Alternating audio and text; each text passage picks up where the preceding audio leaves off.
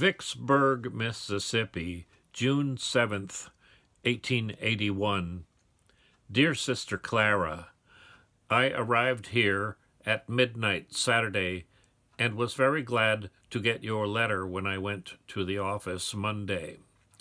I was glad to see the picture of Frankie. I think it looks very natural indeed. Accept my thanks for it.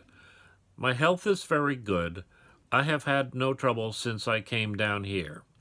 I think that I stand the heat full as well as the natives, about as much. I am loafing around three quarters of the time as I can work up such cities as this very quick. But I have to stay round to deliver the goods sometimes.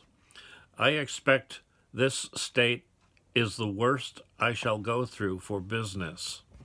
I shall not go round through here much. This is the largest city in the state, and this is truly a one-horse place. I don't know as there is as many as that here, all being mules. There is one third-class railroad running into the city, and their rates are only five cents per mile. All roads here are four and over, and the steamboats are worse than the cars.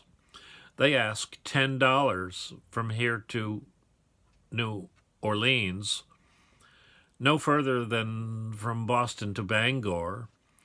That includes meals. Storekeepers and hotel keepers are just as bad, so I have raised on the price of tools to be in the fashion. I expect to go from here to New Orleans tomorrow night. That is, go to Jackson, where I have got to deliver some tools, then stop at one more place between there and New Orleans. So I shall get there Saturday probably, and am likely to be there the rest of the month. It is pretty warm here, but the nights are cool, and I understand that it is more comfortable at New Orleans than here on account of the sea breezes. There is a national cemetery here a few miles up the river where the government has buried 16,000 Union soldiers. I have not seen it yet, but I went out to the National Cemetery at Memphis, Decoration Day. There are about 14,000 buried there.